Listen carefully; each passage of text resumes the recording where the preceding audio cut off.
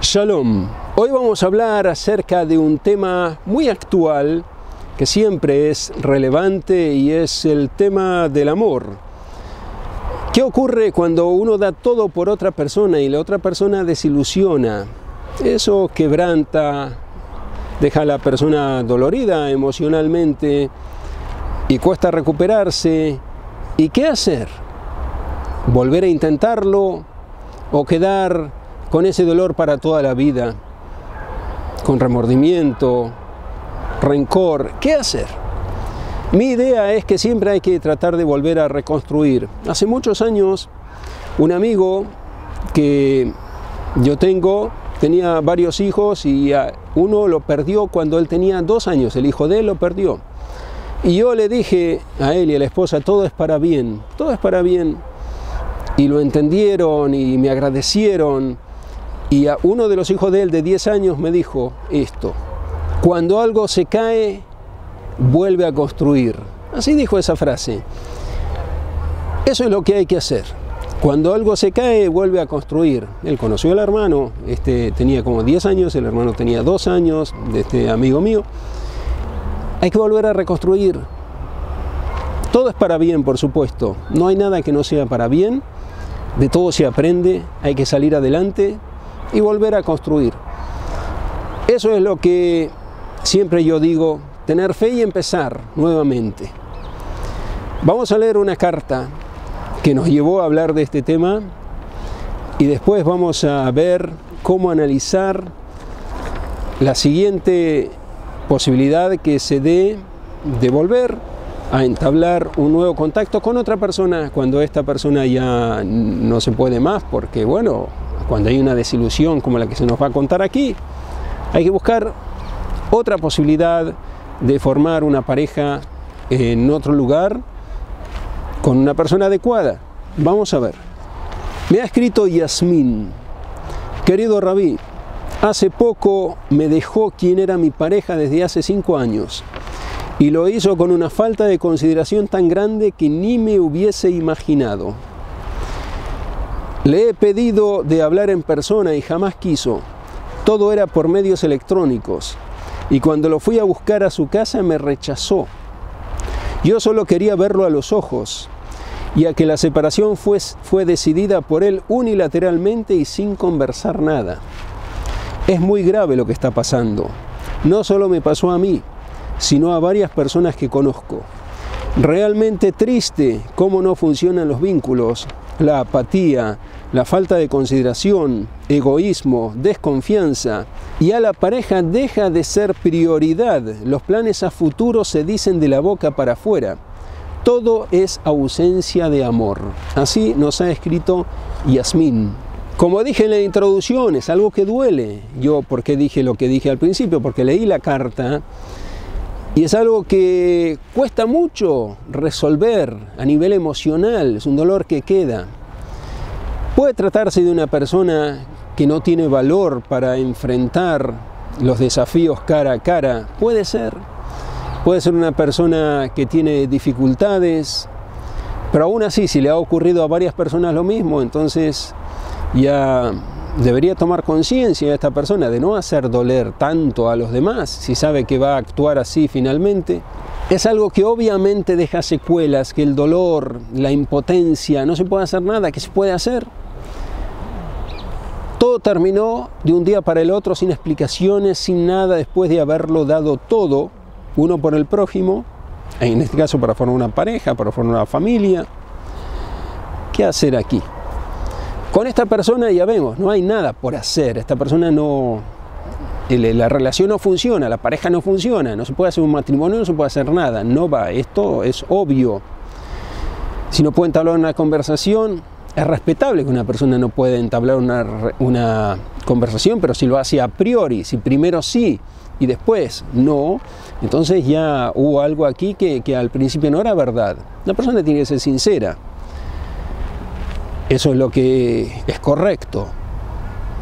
Esta persona tenía problemas para resolver, para actuar, para desenvolverse mientras duró todo, no, después, para resolver, para tomar la decisión. No se atrevió a enfrentar Bueno, debería ser consciente y no hacer doler a las personas de ese modo. Nosotros debemos aprender de esto. Ocurrió, ocurrió. Construir de vuelta, sí. No dejarse vencer porque algo ocurrió de este modo, por más doloroso que sea. Pero no, hay que salir adelante. Hay que tratar de superarse. Hay cosas que son muy difíciles de superar. Yo he escrito, he escuchado grandes profesionales hablar de estos temas y los profesionales que uno piensa, este profesional y, ya está acostumbrado, porque es psiquiatra, porque estudia, porque está acostumbrado a hablar con la gente de esos temas. Uno piensa una cosa que vive una persona que es psiquiatra, se puede recuperar porque ya está habituado, ya conoce el tema, no es así. Incluso personas con esas características que son profesionales y están habituados a ver casos como esos todo el tiempo, cuando les toca a ellos, no lo pueden superar muchas veces. Les es muy difícil. He visto profesionales de este tipo hablar de temas que les ha tocado vivir constantemente, en cada conferencia prácticamente los mencionan. ¿Por qué? Porque les quedó. Cuesta liberarse, pero hay que hacerlo. uno no puede permitir que otra persona le quite la ilusión de vivir. Ocurrió, ocurrió. Tomar una decisión. Una vez, yo expliqué esto en otra oportunidad, una vez un maestro mío, el maestro tenía 78 años cuando me enseñó esto, me dijo, si tienes un vaso con agua y quieres que entre vino, échale vino, échale vino, échale vino, finalmente el agua va a salir. Es algo muy profundo que, que nos enseña, si uno tiene algo dentro que no lo puede sacar, echarle de lo que uno sí quiere introducir dentro y finalmente lo que uno no puede sacar va a salir porque lo va a desplazar lo que uno quiere introducir. Entonces sembrar lo que uno quiere, lo que uno quiere y más y más y más y introducir de eso y de eso y de eso y de eso. Uno quiere buena energía, quiere fuerzas positivas, introducir energía buena, fuerzas positivas, todo el tiempo nutrirse de eso, escuchar conferencias y, ayudar a los demás que se puede en ese aspecto, todo introducir energía buena, energía positiva para que salga lo negativo, por más difícil que sea darse una posibilidad, darse una chance de salir adelante.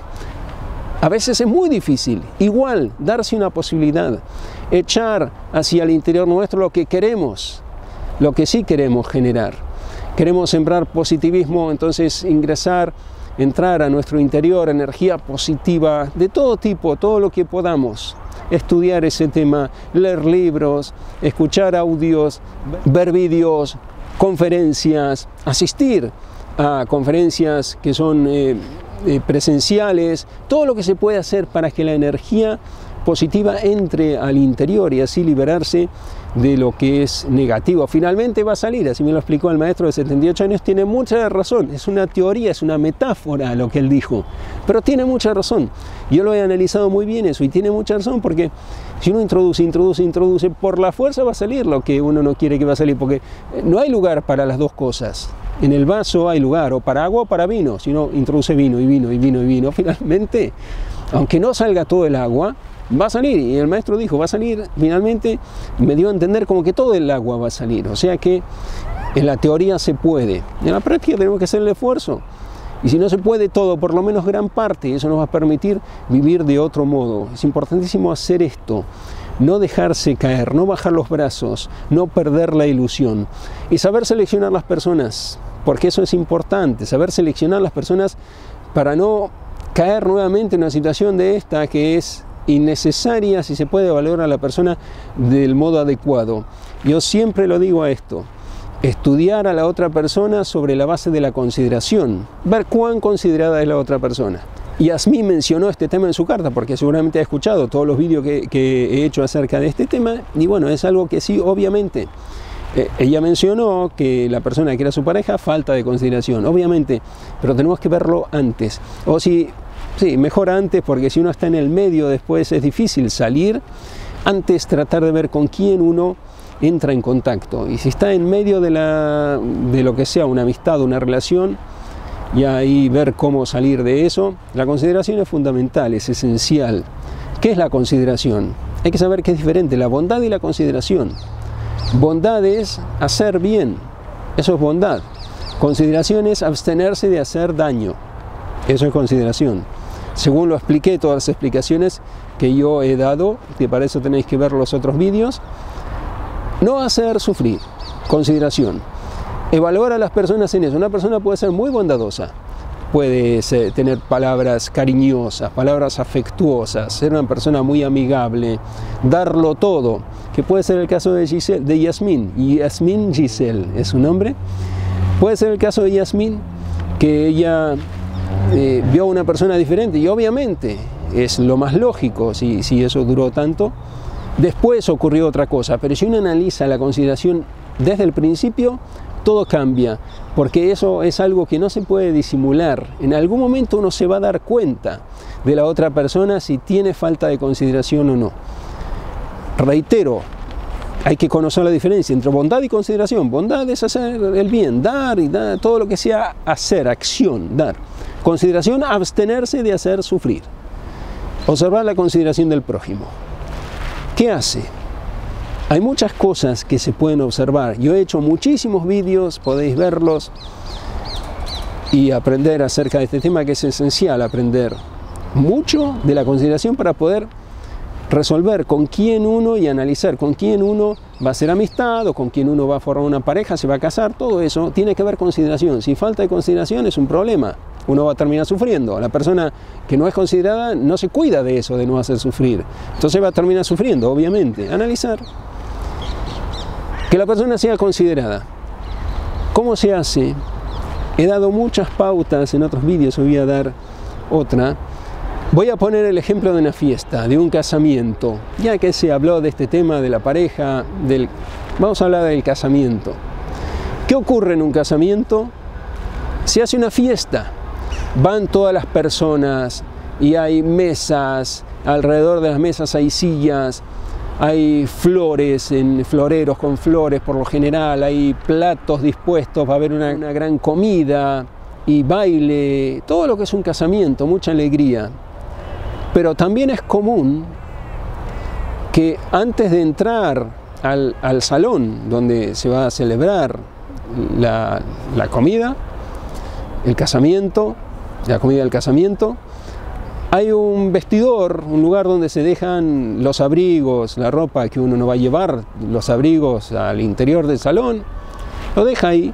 Hay perchas y hay lugares donde se deja lo que uno quiere dejar ahí. Todos están invitados, hay muchas veces que hay confianza, que nadie le va a sacar algo al otro, eso hay confianza, se deja en, los lugares, en, en la sala que está preparada para eso.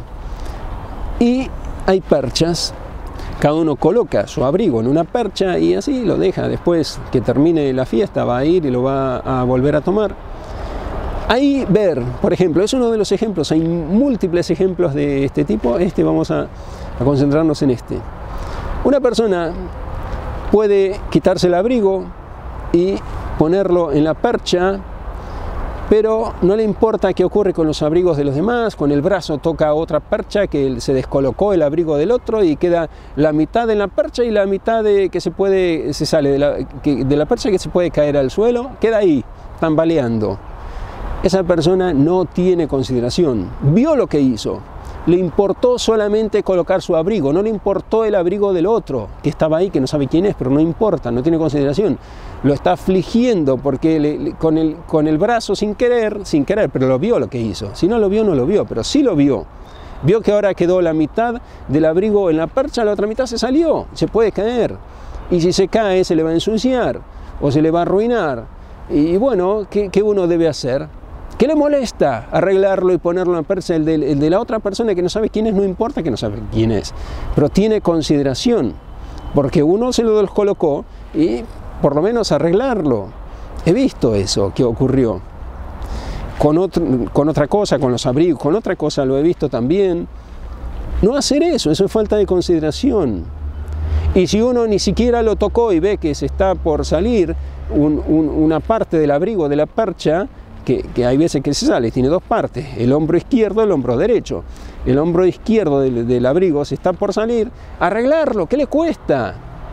Eh, se le va a caer a la otra persona y uno que gana es ser considerado, no hacerlo sufrir, porque con la acción de abstenerse, de, de, arreglar algo que estaba ahí al alcance de uno, que uno lo vio, uno con eso lo está afligiendo porque tuvo la posibilidad, porque estuvo ahí, porque no le costaba mucho, solamente un instante. Ver cómo actúan las personas, ver qué hace cuando una persona está en una situación, qué hace, es considerado o no es considerado. Cuando entró ahí a la fiesta, quizá una persona, vamos a poner eh, una señora, una dama, tiene una cartera muchas veces, lleva cartera, en una silla pone la cartera y en otra silla se sienta. Y hay gente que está de pie, pero no, la señora puso la cartera en la silla. ¿Por qué tiene que poner la cartera en la silla si hay personas que no tienen lugar? Hay que ser considerado. Si uno tiene una silla, que la cartera la tenga sobre ella, que deje a las otras personas sentarse. Ser considerado. Si es un hombre, en vez de cartera, tiene otras cosas. Puede tener cualquier otra cosa, un paraguas, por ejemplo, pequeño que no lo dejó donde se dejan los abrigos y lo lleva con él, lo pone en la otra silla. ¿Por qué tiene que ocupar la otra silla? Tiene que ser considerado con las personas. Quizá la otra persona es tímida, la que se quiere sentar, está dando vueltas de pie, ve que no tiene lugar, y él ocupó dos sillas. Una está sentado él, otra silla puso sus paraguas, paraguas de esos que se plegables pequeños. Hay personas que tienen vergüenza de pedirle que les saque, que saque el paraguas, personas introvertidas, a personas tímidas que no se lo van a decir o que no, tiene, no quieren tener problemas. Uno tiene que ser considerado. Si uno ve que hay otras personas que quieren sentarse, ¿por qué ocupar dos sillas? Ocupar una. Eso lo he explicado en otros vídeos acerca de los autobuses y todo lo demás. Ver la consideración de la gente. Eso es lo importante. Si uno ve, observa en pequeños detalles, como este, le descolocó el abrigo y el abrigo quedó ahí. ¿No le importó? ¿Cómo no le importó? de alguien es ese abrigo, se puede caer, él se lo descolocó ahora, salió un hombro de la percha. Ser considerados, si esa persona ve, no tiene consideración, no le conviene entrar en contacto con esa persona. Porque si es capaz de ser insensible ante lo que ocurre con otra persona o las pertenencias de otra persona, es decir, en pocas palabras, es capaz de hacer sufrir a otra persona, ya sea directa o indirectamente, entonces uno que va a esperar que a uno no lo haga sufrir. Esas son falsas expectativas, por eso uno debe hacer hincapié en ese tema, es tan importante. Los sabios, ¿para qué lo han enseñado este tema? Para que uno sepa elegir con quién se va a reunir, con quién uno va a hacer amistad, con quién uno se va a casar, con todo, ver si es considerado. Si esa persona es considerada, bueno, se puede seguir adelante. Si uno ve falta de consideración, tener cuidado, porque son pocas las posibilidades que uno no padezca en, esa relación con esa persona. Es muy importante esa enseñanza de los sabios y eso ayuda a salir adelante porque aunque haya tocado vivir una situación como esta que nos costó Yasmín, que es difícil de superar, es duro, pero uno ve que tiene una puerta abierta, que la próxima vez puede ser que sea mejor si uno sabe elegir bien es tener los ojos abiertos, hay que conocer las reglas de la consideración para eso. Estudiárselas, las reglas de la consideración. Hay personas que se le han leído en un día todo. Eh, lo, he visto, me han escrito. Leerse las leyes de la consideración, estudiárselas y observar. ¿Para qué? Para saber con quién uno va a entrar en contacto. Y eso le puede cambiar la vida, porque uno se evita para el futuro sufrimientos innecesarios, como esto que nos contó Yasmín, se puede evitar.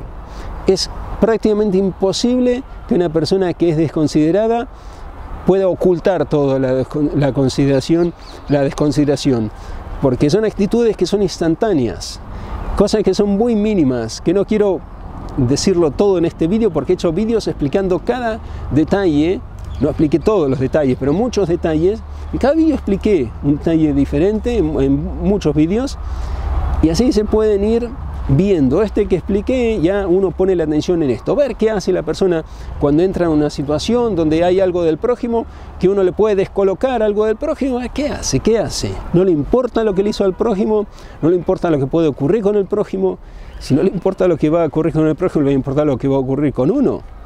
Entonces va a abrir los ojos. Uno puede saber de antemano con qué persona uno está hablando si observa eh, la consideración de esa persona. Es muy importante este detalle deseo a Yasmín que pueda encontrar su pareja muy pronto, su pareja ideal, que pueda formar eh, con ese hombre una familia y pueda ser feliz durante toda la vida. Eso es lo que le deseo y todas las personas que necesitan encontrar su pareja ideal, que el Eterno ayude a que encuentren cada uno su pareja con mucha bendición, que sea, que, que encuentren una persona considerada, que tenga consideración que es lo más importante, y trabajar uno mismo la consideración para estar también en sintonía con la otra persona, que si hay consideración de ambas partes, ese matrimonio no puede fallar. Os deseo un magnífico día y espero encontrarnos muy pronto con una nueva transmisión.